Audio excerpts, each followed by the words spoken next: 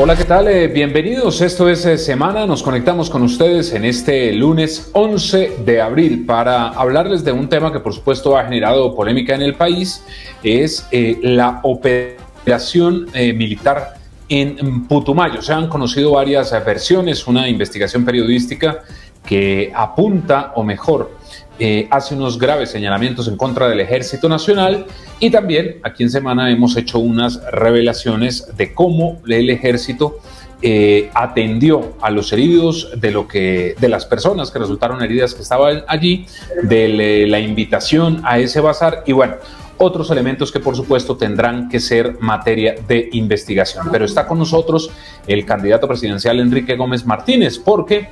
él está mm, afirmando que hay dudas, hay algunas dudas sobre lo que se ha dicho. Doctor Gómez Martínez, bienvenido a Semana, ¿cómo está? Pues creo que, eh, bueno, hola, mucho gusto, muchas gracias por la, por la oportunidad de participar. Creo que es un tema crucial, tiene un componente histórico importante de cómo se ha venido maniatando a nuestras fuerzas militares y de policías en una telaraña jurídica y por el otro lado la acostumbrada manipulación de quienes favorecen los intereses de los grupos eh, narcoterroristas y guerrilleros que están eh, untados de narcotráfico hasta el cogote. Y por eso creo que el reportaje del espectador y otros medios asociados muestra una versión rosa de lo que son estos campamentos cocaleros, en donde evidentemente se produjo eh,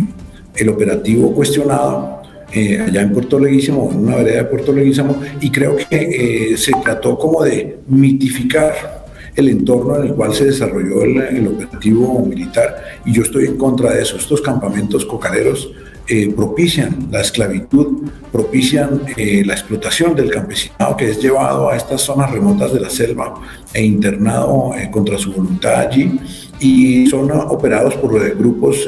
terroristas y, guerrilleros que hoy día cuidan para el cartel de Sinaloa principal, principalmente estos cultivos y estos cristalizaderos. Por el otro lado, el derecho de operaciones en las fuerzas militares de Colombia ha evolucionado drásticamente, está ampliamente documentado corresponde a una doctrina de eh, inicio de operaciones muy elaborada, con controles eh, antes, eh, durante y después de la operación, y rechazo totalmente que se trivialice todo y se imponga un manto de duda sistemático sobre la operación de los servidores públicos de las fuerzas militares y de policía que dejan su vida protegiendo a estas poblaciones y luchando contra el flagelo de los cultivos ilícitos. Claro, eh, doctor Gómez, justamente, em, ¿por qué, lo acaba de decir usted, es una versión rosa, este trabajo periodístico que hicieron los, los colegas de otros medios? Pues Diego, porque, porque él, era el convocante de la supuesta, supuesta Kermés, su festival, que es una borrachera, un perrón de tres días típico de, de, la conducta de estos eh, grupos narcotraficantes, eh, idealiza el proceso, incluso eh, menciona solo tangencialmente la existencia de un burdel, cuando está documentado ampliamente que ese tipo de instalaciones cocaleras impone la esclavitud sexual a jóvenes y muchachas en, todo el país que son secuestradas para ir a prestar esos servicios en estos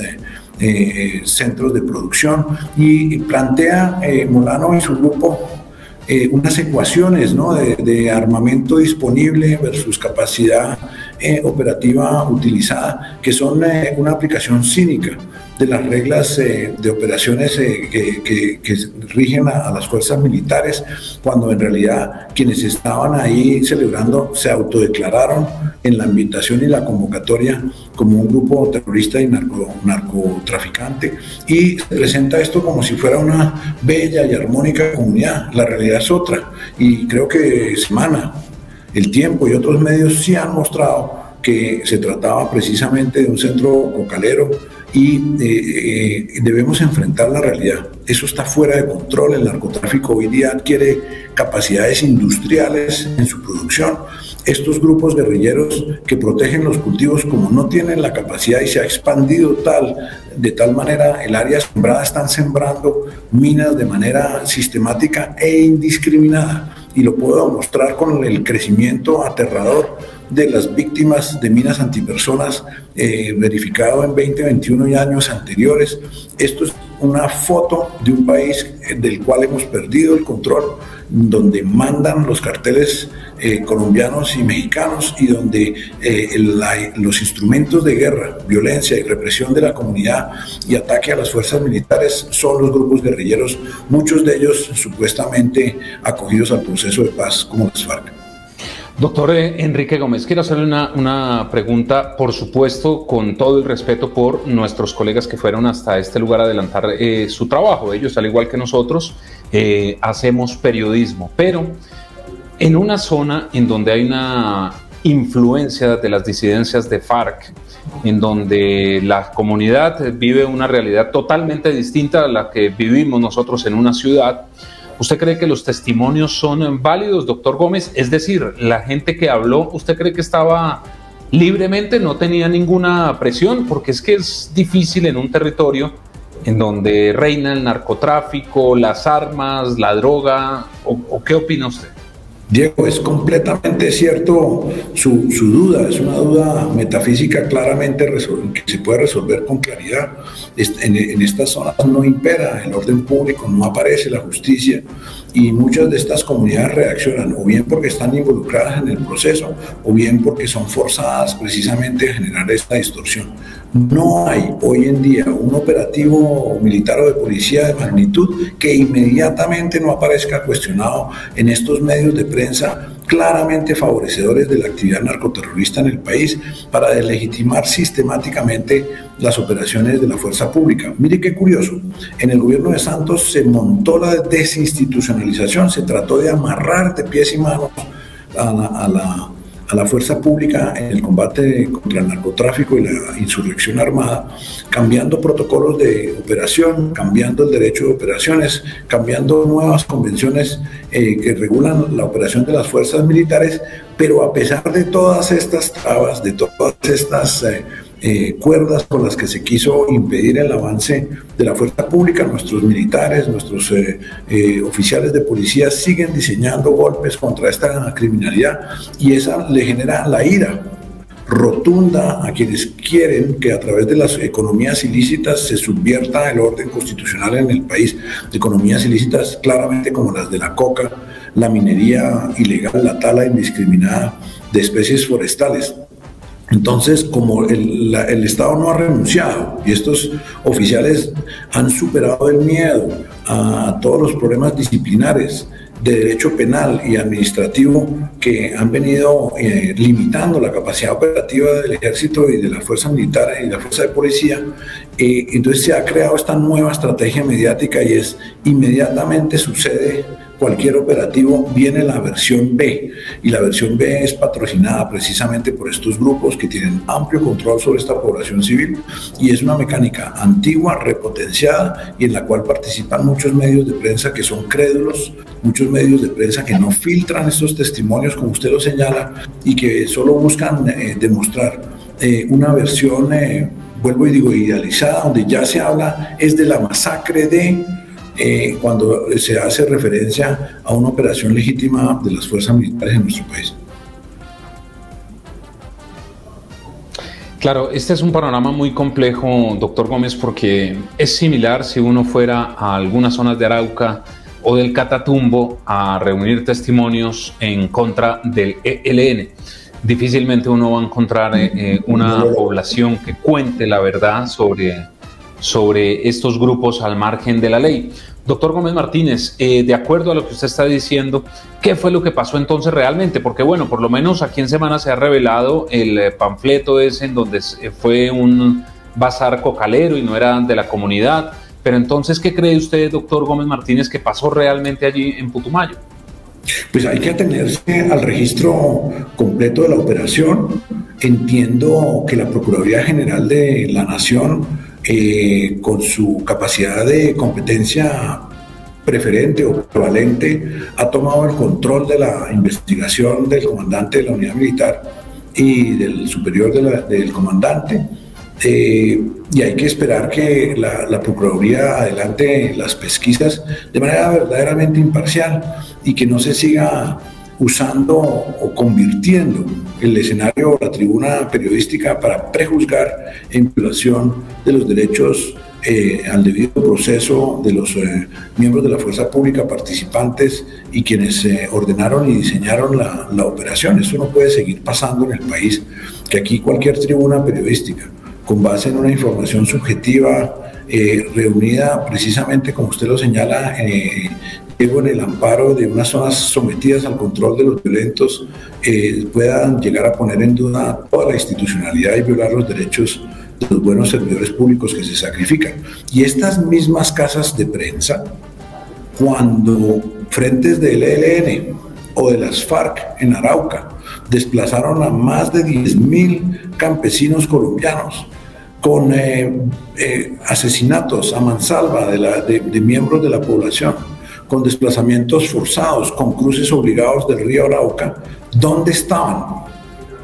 ¿Dónde estaban para hacer las denuncias respectivas cuando claramente se había establecido que las luchas de control eh, territorial entre organizaciones guerrilleras dedicadas al narcotráfico habían afectado a decenas de miles de, campesinos colombianos? Ahí sí, no, ahí sí no hay viaje especial, ahí sí no hay testimonios, ahí sí no hay nada de ello, ¿no? Entonces me parece que la cultura periodística tiene que hacerse una revisión, una ponderación, una pausa en relación cómo se cubre eh, estas situaciones tan complejas de la realidad nacional y el país entero tiene que reflexionar sobre cómo vivimos en un mundo de hipocresía en la guerra contra las drogas, donde colocamos a nuestras fuerzas públicas a operar contra unas mega organizaciones criminales armadas hasta los dientes con pretensión de control territorial que siembran minas de manera indiscriminada y sistemática y las colocamos en el fuego eterno de la justicia, del derecho disciplinar y de una prensa beligerante eh, y poco parcial, poco, poco imparcial. Sí, quiero preguntarle por los eh, heridos, eh, doctor Gómez Martínez, porque los testimonios aseguran que eh, el ejército, las Fuerzas Armadas no brindaron ninguna ayuda a los heridos, pero se han conocido unos videos, unas fotografías que también revelamos aquí en Semana, en donde hay como un minuto a minuto en donde se ve que le están prestando atención a los heridos. ¿Qué podría pensar uno de esto? Pues creo que el canon de operación de las fuerzas militares queda evidenciado en las pruebas que ha revelado semanas tan importantes para desvirtuar eh, eh, todas estas mitologías que se están eh, construyendo. No debería haber heridos, no debería haber operativos, pero el país necesita precisamente enfrentar esta ola, esta, este mare magnum de, de cultivos ilícitos que afectan el medio ambiente, eh, sojuzgan a las poblaciones rurales del país y obviamente generan estas economías ilícitas que, que, están destruyendo la economía, interfiriendo en la política y generando control territorial. No debería suceder que el ejército tuviera que atender esos heridos, pero tampoco debería suceder que se involucren estos grupos criminales directamente con la población civil y, generen estos campamentos y estas, eh, ¿cómo llamaría yo?, eh, microciudades eh, cocaleras en donde todos están violando la ley, pero los grupos armados eh, de todas formas se mezclan indiscriminadamente entrabando la realización de los operativos. Creo que las imágenes que ustedes han publicado pues cuentan otra historia la historia la, real, la que no está mitificada por quienes tienen una parcialidad histórica conocida como el caso de Molano. Y finalmente serán las autoridades las que determinarán eh, pues realmente qué fue lo que pasó. Ahora, también hay otra realidad que no se puede ocultar, doctor Gómez Martínez, y es que realmente hay muchas zonas en donde no hay una presencia del Estado y por supuesto hace que estos grupos al margen de la ley eh, reinen y puedan eh, obligar a las comunidades a hacer lo que ellos quieran, ¿no? Esto es un tema que por supuesto viene de hace décadas en Colombia, muchas zonas que están eh, con ausencia del Estado. Diego, 50 años de guerra contra las drogas, ¿qué nos han dejado? ¿Qué nos han dejado? Corrupción, violencia, muerte. Los países consumidores eh, vienen y pontifican a diario en nuestro país en relación con un fenómeno que el consumo ha creado y ellos crearon la prohibición. Por eso en Salvación Nacional no condonamos el consumo. Creemos que el consumo ya existe en nuestra sociedad. Es un fenómeno masivo frente al cual el Estado debe abordar de inmediato nuevamente labores de prevención para evitar que los jóvenes entren a edad temprana en los ciclos de consumo, para que no se trivialice el consumo de la marihuana que hoy día en la sociedad se engañan los jóvenes diciendo incluso que es una medicina, eso no es una medicina, eso es un eh, psicoactivo peligroso, más prevención, más tratamiento y mejor, sobre todo tratamiento al adicto. Tengo la, la, propuesta de que revisemos los criterios de homologación de los centros de tratamiento a los cuales se acude en el plan de beneficios de nuestro magnífico sistema de salud, que creo que no están generando los resultados y creo que es, una, es la hora de sentarnos a revisar. Colombia como el mayor eh, principal eh, productor de cocaína del mundo y Estados Unidos como el principal eh, consumidor es el momento de sentarse y hacer una, agenda bilateral para desmontar la guerra contra las drogas y exigir a Estados Unidos menos condiciones infamantes como las que rigen hoy día y se vieron recientemente en el paupérrimo contribución de 478 millones de dólares que la nación recibió y no debió haber recibido porque está lleno de condiciones, de presunciones y de humillaciones a nuestras fuerzas militares y de policía, a las cuales presume violadoras sistemáticas de los derechos de los ciudadanos, cosa que no es cierta. Y deberíamos haber devuelto ese chequecito, la canciller debe haberse lo llevado allá a Washington y decir, venga, sentémonos y revisemos a ver cómo hacemos para desmontar la guerra contra las drogas. La realidad es que esta negociación debe ser bilateral entre los dos países con mayor compromiso y estoy seguro que una vez logremos esos acuerdos para eh, terminar la prohibición, que es la que genera el enriquecimiento. Mire, la coca no, no genera ningún valor agregado, no genera buen empleo para los campesinos, solo genera violencia y destrucción. Y no es un producto que, cuya transformación industrial le genere ningún valor agregado a la economía. El grueso de la riqueza de los mafiosos y de los grupos guerrilleros viene de la prohibición. Eliminada la prohibición, se transforma y se elimina precisamente el poder de las mafias, se elimina el poder de los grupos guerrilleros. Esa es la razón por la que nadie quiere hablar de la prohibición, porque esto enriquece a los narcos, crea burocracia en los Estados Unidos. Por eso nuestra propuesta es un escenario bilateral serio, transparente, sin hipocresía porque mientras aquí nos matamos por cuenta de la hoja de coca, allá en Estados Unidos hay mayor tolerancia con el consumo, a los grandes extraditados del país los devuelven aquí a los cuatro o cinco años después de haberles sacado una plata y unas, unas rutas y los devuelven aquí a seguir delinquiendo y eh, Estados Unidos no tiene legitimidad moral para seguirnos imponiendo eh, eh, esta, esta pesadilla que llevamos 50 años sin un resultado tangible. Llevo la salida es a través de la autoestima y la soberanía nacional y una solución bilateral que cuando se dé va a liberar a todas las naciones de, de, esta pretensión absurda de limitar o prevenir el consumo de manera violenta a través de la prohibición. Nuestras calles, mientras tanto, están inundadas de coca de alta pureza, disparado el microtráfico. Los jóvenes en las barriadas, aún de las pequeñas ciudades de 50.000 habitantes, no pueden salir de sus barrios por estar eh, vinculados a las bandoras de microtráfico. Esto es eh, el derrumbe social y por eso creemos que es hora de un gran diálogo interno, obviamente, y un gran diálogo con nuestro socio, nuestro amigo y el gran generador del consumo que es Estados Unidos para resolver esto de una vez por todas y terminar la guerra contra las drogas. Pues estando claro este tema, doctor Enrique Gómez Martínez, y planteadas las dudas que usted tiene sobre la investigación eh, que se hizo y todo lo que ha pasado eh, con esta operación militar en Putumayo, quiero preguntarle por su eh, candidatura presidencial. ¿Cómo va la campaña, doctor Gómez? Pues seguimos adelante. Nos han negado la financiación pública de nuevo. pareciera que el Estado colombiano está comprometido con que las ideas conservadoras no lleguen a la primera vuelta.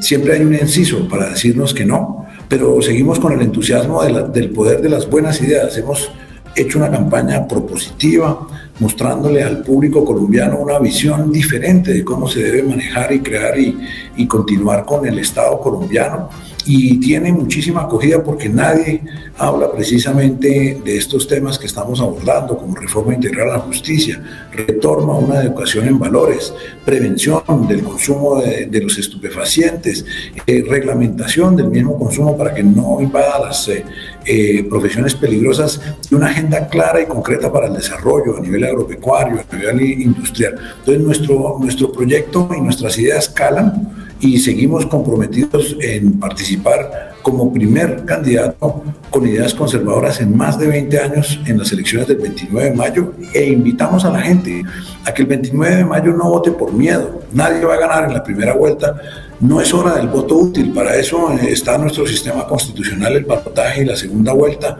Ya tendrán tiempo los colombianos de ejercer una opción de voto útil en la segunda vuelta, por eso los invitamos y estamos recorriendo el país con nuestros escasos recursos, invitando a la gente y con el apoyo ahora de la prensa a, que conozcan estas ideas buenas, vean eh, nuestras propuestas de gobierno y una visión diferente del país y por eso pedimos que nos apoyen el próximo 29 de mayo.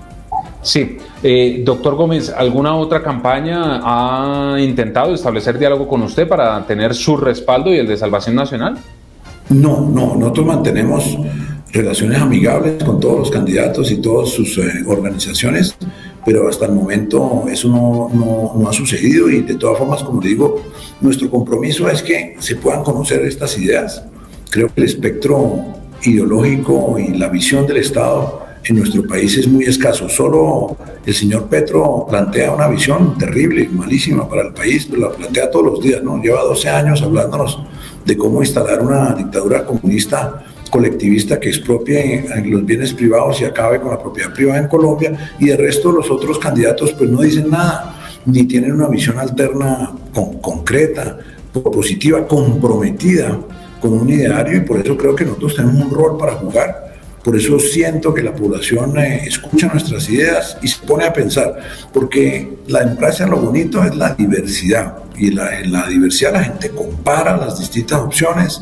y se pone a pensar y evalúa cuáles son los caminos que debe tomar la sociedad y el Estado y por eso creo que nuestro rol eh, es el de perseverar hasta el 29 de mayo, siempre abiertos. Colombia es un país que produce un café maravilloso y yo me mantengo abierto y dispuesto a escuchar a todos los candidatos antes y después de la primera vuelta para conocer eh, su visión de país y porque no importa quién gane eh, en la segunda vuelta, va a tener un, reto, un encargo de muchísima complejidad.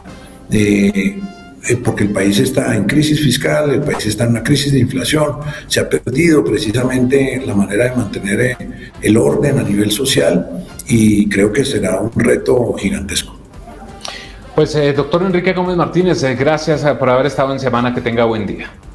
Diego, gracias a Semana, un saludo a todos los televidentes y, seguidores de Semana. Felicitaciones por, esa, por esas chivas de las imágenes, muy buenas, muy importantes para el país y la democracia. Hasta luego.